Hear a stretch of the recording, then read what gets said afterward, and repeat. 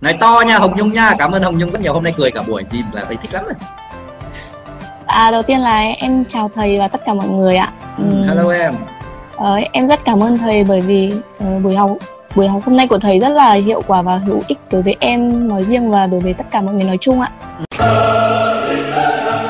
ừ. Ừm, em vốn là một người rất là lười, kiểu em rất là thích học tiếng Trung nhưng mà em rất là lười ấy.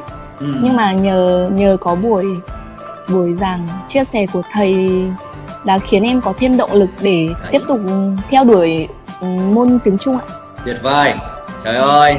Nào Em cảm ơn ạ. không hả nhung? Rồi cảm ơn nhung rất nhiều mọi người cho nhung một tràng vỗ tay nào. Tuyệt vời.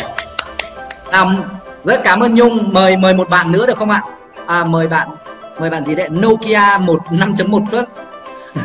Thầy thầy không biết là thầy không biết là tên bạn là gì rồi bạn có thể chia sẻ giúp thầy được không Em chào thầy ạ. rồi chào em.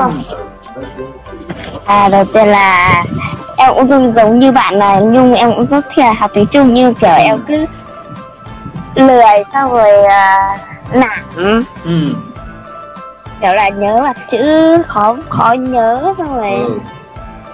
khó viết nhưng mà nhờ buổi học của thầy là em biết phương pháp cách dạy cách học này ừ. hiệu quả hơn rồi tuyệt vời. Cảm ơn em rất nhiều. Em tên là gì nhỉ? Em tên My ạ. Ok, cảm ơn My rất nhiều, cảm ơn My rất nhiều. Tuyệt vời. Đấy, thì tự nhiên là khi mà mình chia sẻ cho ai đó cái gì thì người ta đáp lại cho mình bằng một cái tình cảm sâu đậm như vậy thì lần sau là thầy thoải mái luôn chia sẻ. Có có cái gì rút ruột rút quan xé quần xé áo ra chia sẻ hết. Không có cái gì tiếc cả